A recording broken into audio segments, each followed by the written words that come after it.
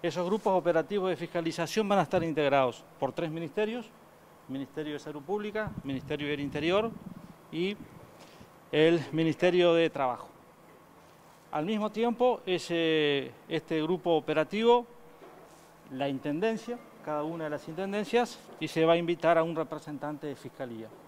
El objetivo de este grupo operativo son básicamente dos. Por un lado, controlar los protocolos, controlar en cada departamento que los protocolos acordados con el Ministerio de Salud Pública, sobre todo, se cumplan. Y el segundo objetivo de este grupo operativo es evitar las aglomeraciones.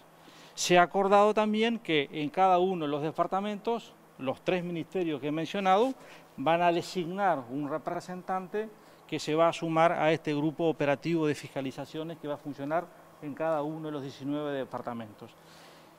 Aquí el objetivo es por un lado, comité, los comités departamental de emergencia continuarán con su tarea, pero en forma paralela, este ámbito más chico, este ámbito eh, más limitado a estas instituciones que he mencionado, el objetivo es extremar la fiscalización y ser más severos en la aplicación de sanciones.